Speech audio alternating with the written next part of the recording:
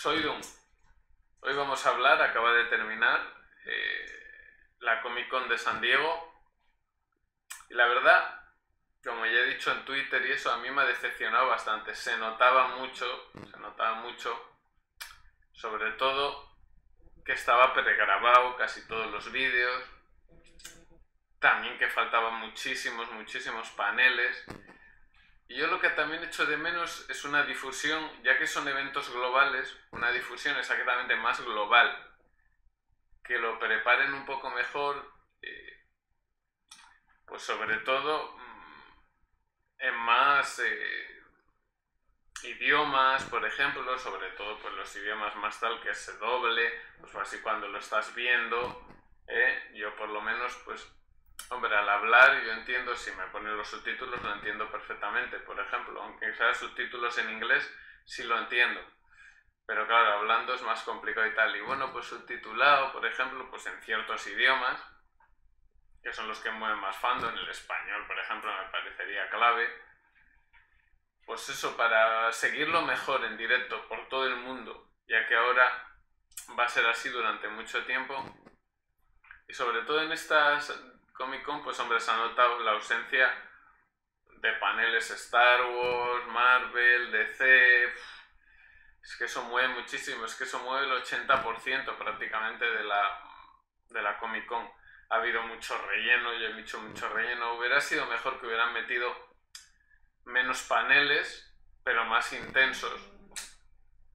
A mí la verdad, el único panel que realmente me ha llamado, bueno, panel son tres, pero bueno, el de AMC de Walking Dead, que bueno, ha puesto tres trailers bien, además, eh, pues eso, de la serie nueva, del último capítulo de, esta, de la temporada y de Fear, de la sexta temporada. Bueno, bien, hombre, no he hablado de las películas y tal, pero bueno, ha, ha estado bien, pero es que el resto de paneles los he visto un poco, sí, un poco descafeinado y mucho relleno se notaba que estaba todo pregrabado y tal. Era molado un poco más en directo, algunos paneles, aunque sea poder hablar, por ejemplo, alguna interacción con algún, yo que sé, entrevistas o algo, no sé. Hubiera estado bien. O sea, ya que lo haces distinto, global y gratuito, pues marcarte algo de esto. Así que bueno. Eh, las cosas así más destacadas, aparte de esto, pues por ejemplo se ha confirmado la tercera temporada de The Voice, que es guay, una buena noticia. Luego pues eh, ha habido malas noticias, eso sí, eh, que son, bueno, ha habido un montonazo de retrasos, tanto de las pelis de Star Wars, eh, por el tema del virus, casi todos los estrenos, Wonder Woman, Mulan, incluso nuevos mutantes también, Avatar, todas las de Avatar, o sea, bueno, pero lo de nuevos mutantes y Avatar es una cosa ya generacional. Pero bueno, que se ha retrasado todo, casi hasta 2021. Quedan muy pocos grandes estrenos en 2020 ya.